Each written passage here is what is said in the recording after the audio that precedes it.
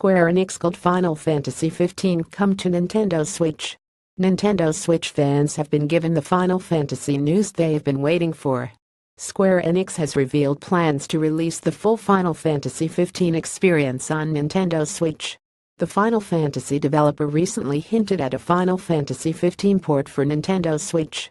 However, after running a few tests, it looked like the console couldn't handle the Final Fantasy XV game engine. While it looked like that might be the end of it, game director Hajime Tabata told Eurogamer that the studio hasn't given up hope. We're actually doing very specific technical investigations into what's possible at the moment, Tabata said. Where we are at the moment we've completed those tests and have worked out where the ground lies. We're currently in the middle of the discussion and debate about what we should be doing and how to realize that on the Switch. Friday, July 28, 2017 Develop avatars using experience from defeating enemies, completing quests Tabata said that the studio was in talks with Nintendo and other companies about a Switch port. The other thing you see the mobile version, the PC version, one thing we value is to optimize the way the game plays and the experience for the individual hardware it's on, rather than a one-size-fits-all approach. We can't currently announce anything we haven't come to a full decision on the best way to do it yet. We're having very open, frank discussions with Nintendo at the moment about what they think is the best thing to do.